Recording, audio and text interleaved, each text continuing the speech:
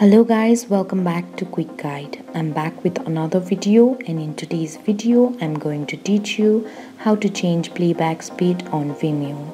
For that, first of all open up your Vimeo app on your phone. After you open up your app, on left hand side you can see the option of videos. Tap on it.